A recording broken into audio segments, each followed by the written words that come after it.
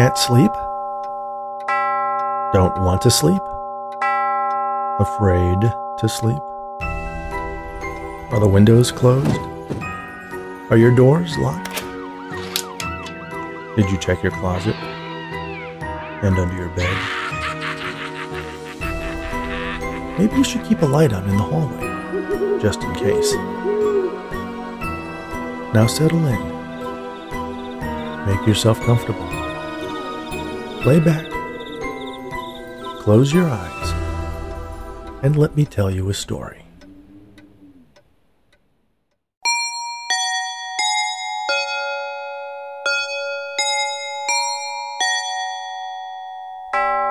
Can't sleep? Don't want to sleep? Afraid to sleep? Are the windows closed? Are your doors locked? Did you check your closet? And under your bed? Maybe you should keep a light on in the hallway, just in case. Now settle in. Make yourself comfortable. Lay back. Close your eyes. And let me tell you a story. Have you ever wished you had just a little more time, or perhaps the ability to go back in time, just a bit, to fix something you did wrong? Make a different decision about which line to get in at the grocery store, or whether or not to eat that leftover bagel at work. Meet Edward, the perfect example of the absent minded professor, whose brilliance as a theoretical physicist can unlock the secrets of time and space. But the simple act of getting ready for his nephew's birthday party becomes a challenge of epic proportions. The Time Traveler's Dilemma. Edward, we have to go. We're going to be late, Joan shouted from upstairs. Edward looked at his watch. Time. Why did there never seem to be enough of it? Well, that would change soon enough. He glanced down at the device on his workbench. It looked so unassuming, but if he could work out the final kinks, it would revolutionize the world, hopefully for the better. Edward turned off the lights in his basement workshop and climbed the wooden stairs up to the kitchen where Joan was waiting, her arms crossed. She looked at Edward and raised an eyebrow, just enough to inform him that he had done something to disappoint her. What? he asked, checking his shirt for mustard stains and making sure his socks matched.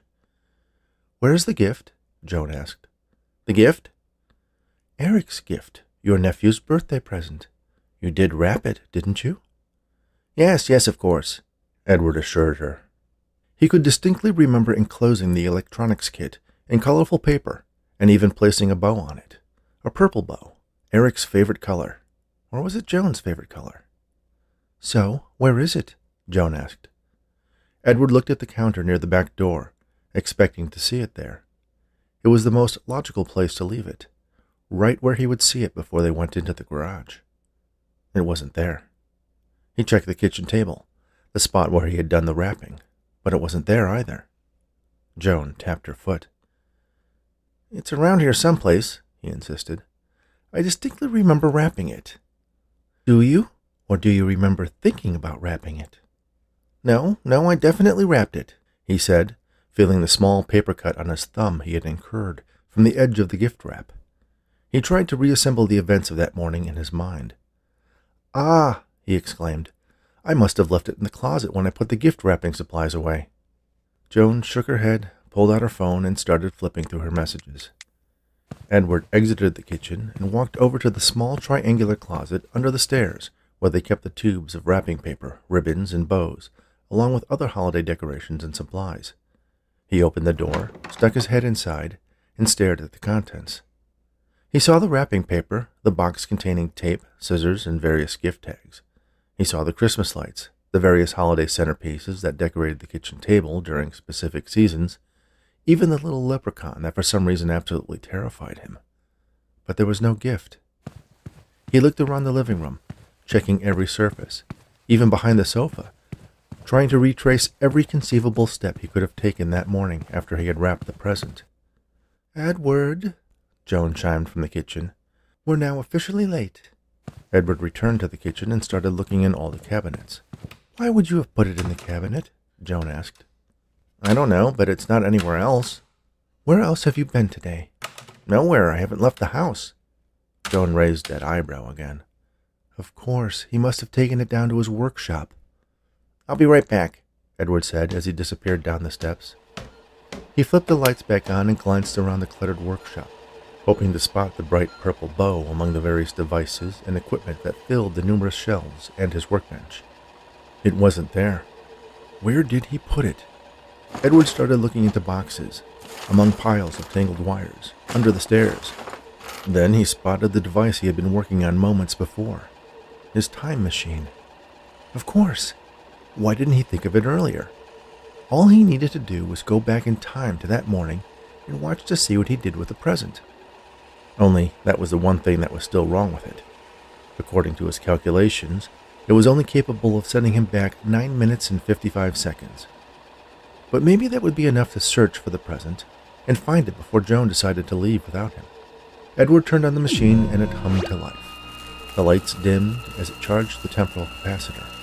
He made sure he was standing in the spot where the displacement field would be generated and flipped the switch.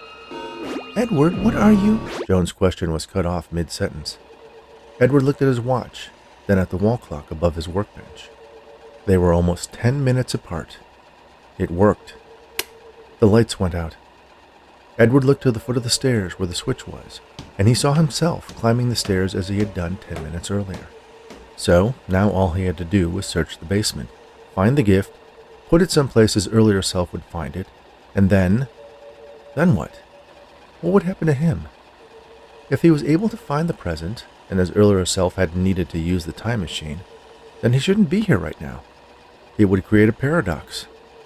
Joan had warned him about just such a pitfall when he had told her he was working on a time machine, but he hadn't paid her much attention. He was a theoretical physicist, after all. Yet here he was. Maybe she was right. He couldn't worry about that now. He needed to find that gift. He raced over to the stairs, made sure he wasn't looking at himself, then turned the lights back on. Where was it? What had he worked on besides the time machine and the hours between wrapping the present and when Joan had called him to go to the party? He had unpacked a shipment of spare parts. Where had he put that box? Ah, over there, next to the wormhole generator.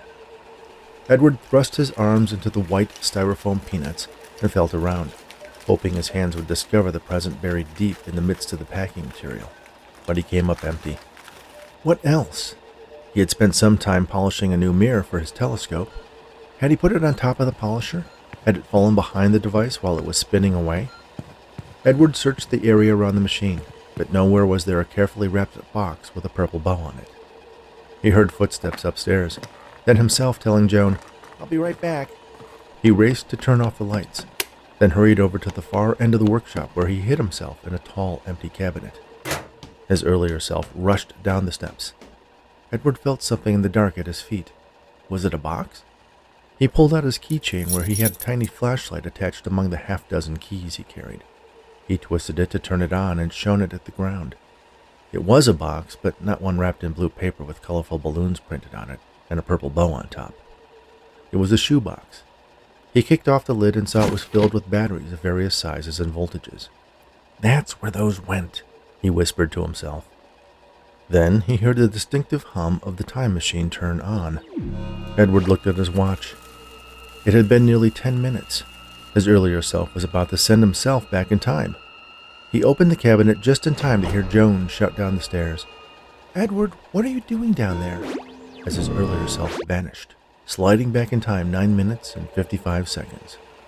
He wondered if he would snap out of existence since his past self had altered his future. But nothing happened.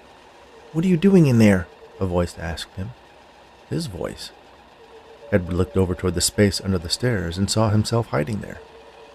Wait a minute, what are you doing there? I'm hiding from my earlier self so I don't create a paradox. That's what I'm doing. The first Edward realized their mistake before the second one did.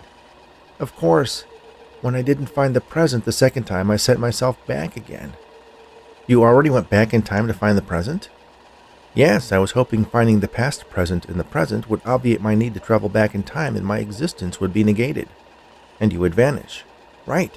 At the very least, making that choice should have created a new quantum reality. Well, but you made that choice in this reality's past, not my future. Ah, yes, I see what you're saying. What who's saying? A third voice asked. The first two Edwards looked over and saw a third iteration of themselves emerge from behind the rack where his computer equipment was mounted. When did you get here? About ten minutes ago. Darn, I keep doing the same thing. We have to put a stop to this. But how? The time machine only goes back 9 minutes and 55 seconds. We can't go back before we use it to warn us not to. No, but we can go back enough to tell the next version of ourselves to not waste time searching the basement. I think we can all agree it's not down here. Yes, the other two Edwards agreed. But which one of us should go back? All of us. We need to break the cycle before more of us end up down here. Too late, the fourth Edward said. They all raced to the time machine. The first one there turned it on, and they all squeezed into the two foot square spot that denoted the displacement zone. Wait for me, a fifth Edward shouted as he rushed to join the other four in the small area before the vortex shifted them back in time. The clock above the workbench showed it was a minute past the time they had originally traveled back to. What next? asked Edward. We need to search the rest of the house, Edward answered. Without our earlier selves seeing us, warned Edward. Of course, that goes without saying, Edward remarked. Okay, I'll take the bedroom. I'll check the guest room. I'll do the upstairs bathroom. I'll check Joan's office. I guess I'll search the attic. Why the attic? We haven't been up there in years. It's the only other place in the house to look, Edward told his other skeptical selves. They considered his logic and nodded in agreement. Okay, we have to get upstairs while we're not looking, Edward warned. And somehow get past Joan, he added. We need a distraction. No, we don't. When we go into the living room to check the Harry Potter closet, Joan starts playing around on her phone. That's right. And while we're sticking our head in that little closet, we should be able to get upstairs without Joan or ourselves seeing us. Okay, let's go. The five Edwards sneaked up the stairs. The first one saw that Joan's attention was indeed focused on her phone. He motioned to the others, and they tiptoed through the kitchen, past themselves, digging through the contents of the holiday closet, and moved as quickly and quietly as they could up the stairs. They made it without being detected by the earlier Edward or Joan. Okay, Edward whispered to himself. We have to do this quickly. When we find it, we just have to give it to ourselves and we should all disappear, since we won't have a need to use the time machine in the first place. They all nodded in agreement. It's not up here, another Edward said. The original quintet of Edwards looked down the upstairs hallway and saw the new Edward emerging from the bedroom. Others emerged from the rest of the rooms and the door to the attic. Did you check Joan's shoe closet? Yes, that was the first place I looked. Under the bed? In the bathtub? In the chest in Joan's office? Yes, yes, a chorus of Edwards replied. It has to be somewhere, Edwards sighed in frustration. Obviously, it's not like it fell through a wormhole, he suggested offhandedly. The Edwards considered the possibility, but no, that was ridiculous. The wormhole generator in the basement was not even close to working. Oh, for crying out loud, Edward said from the stairs. Another group of themselves was sneaking up the steps. Now what? one of them asked. Well, I think the first thing one of us has to do is go back in time to keep any more of us from going back in time again. Right, right, right. I'll, I'll, do, it. do, it. Four of the Edwards volunteered. Okay, okay you, do, it. do it. it. They all said in unison. Shh, three of them hushed. They'll hear us. All of the Edwards became silent. Six of them checked their watches. We're, We're running out of time, they warned. Edward, Joan shouted from the kitchen. Uh-oh, 15 Edwards groaned. Uh-oh, the earlier Edwards said from downstairs. Uh-oh, five more Edwards added. They crept down the stairs and peeked at what was happening in the kitchen. Another group of Edwards was gathered at the top of the stairs to the basement, while earlier Edwards stood speechless at the doorway between the kitchen and the living room. What's going on? Joan asked. You haven't been cloning yourself, have you? No, not at all, earlier Edward replied vehemently. Then he looked at his future selves. Right? he asked. Right, right, they replied. One of them stepped forward. It's not anything bad, he tried to assure Joan. Really? she asked. Can you explain to me just how? She did a quick head count of the Edwards on the basement steps. Five more of you is a good thing? We can get the garage painted in half a day? one of them offered. Joan's raised eyebrow glare silenced any other potential replies. Can one of you please explain why any of you exist? None of them spoke. Then they looked at each other, using hand signals to negotiate which one of them would be the spokes Edward for the group. After the unproductive charade went on for a few seconds, Joan interrupted. Okay, stop. You, she said, pointing to the Edward closest to her. Speak. Close Edward swallowed nervously. Well, I, we, were looking for Eric's gift in the basement, and it occurred to me, us, that if I, we, went back in time a few minutes, we'd have more time to look. But then I, we, didn't find it, and then our past self, him, he said, pointing to earlier Edward, came down, and I, we. Okay, Joan interrupted. Just use the first person. I get that there are more than one of you. Right, sorry. Anyway, I decided we, I mean, I, should go back in time again to look somewhere else before he, close Edward pointed to his earlier self again, came down and decided to go back in time again. I never went back in time in the first place. No, not yet, but you will in my past. And what about the rest of you? Joan asked. The other Edward started speaking all at once. Joan held up a hand and they all fell silent. Never mind. I think I have a good idea what happened next, and I believe I warned you about just such a thing. The Edwards bowed their heads. Anyway, we figure it must be upstairs somewhere since all of us searched the entire basement. One of the upstairs Edwards, listening on the steps to the second floor, leaned over to hear a bit better, but his weight caused a shift in the collective mass of the fifteen Edwards squeezed onto the staircase, and they all came tumbling noisily down to the foyer. Joan and the kitchen Edwards turned their attention to the living room, where the Edwards were untangling themselves. Oh dear, can this get any worse? she asked. From the pile of Edwards, one of them managed to get to his feet and wave meekly at Joan and his past and future selves. It's not upstairs, he said. What's not upstairs? Earlier Edward asked. The present. Oh, right. Did you check inside the chest in Jones', Joan's office? office? Six Edwards finished.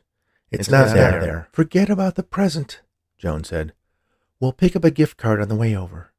The bigger question is, what am I going to do with all of you? Well, we should all disappear once I decide not to use the time machine, earlier Edward said. He turned to his future selves. I assume I haven't been able to go back more than nine minutes and fifty-five seconds. That's, That's right, right, Twenty Edwards answered. Fine, Joan said in frustration. So how long do we have before you all pop off? Close Edward checked his watch. According to my calculations, we have about three minutes and twenty-four seconds. We can keep looking while we wait, one of the upstairs Edwards suggested. All the Edwards looked to Joan.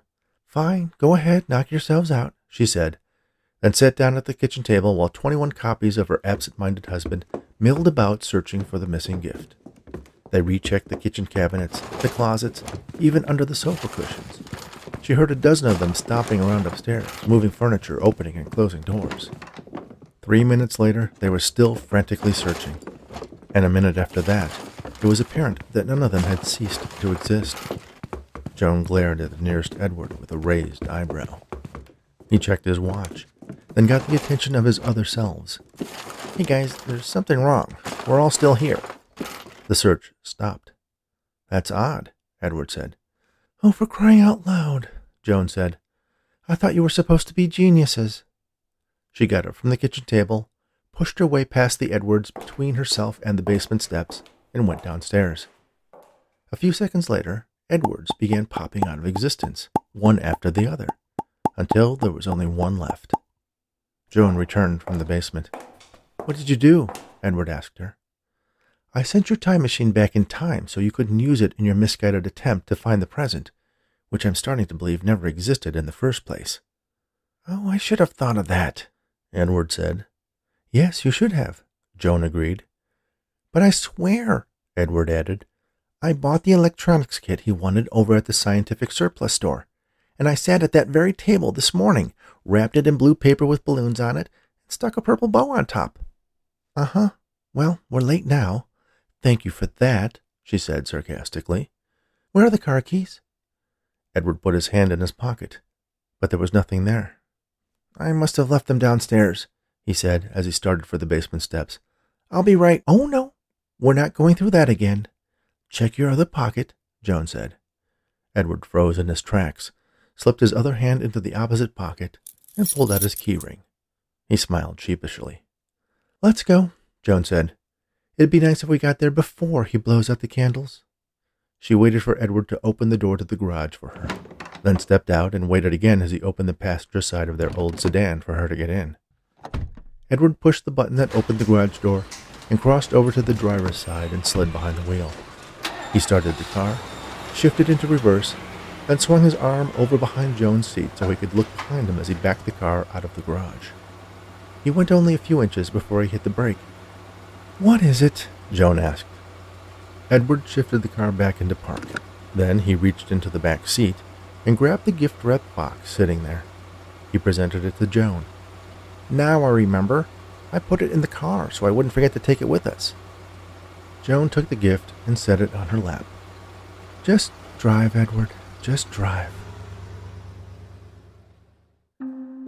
Thank you for listening to The Time Traveler's Dilemma, written especially for the Bedtime Stories for Insomniacs Fiction podcast by Rich Hosek. Please remember to subscribe on your favorite podcast app, rate us on Apple, Spotify, and Audible, and share these stories with anyone who enjoys audiobooks. Speaking of audiobooks, the audio versions of my novels are currently available on this very podcast. If you're looking for other original story podcasts, check out asreadbyme.com they have an eclectic mix of fiction, poetry, and essays that are sure to keep you entertained, all read by the authors. You can find out more about this podcast and the host of bedtime stories for insomniacs at richhosek.com. Thanks again, and all the very best.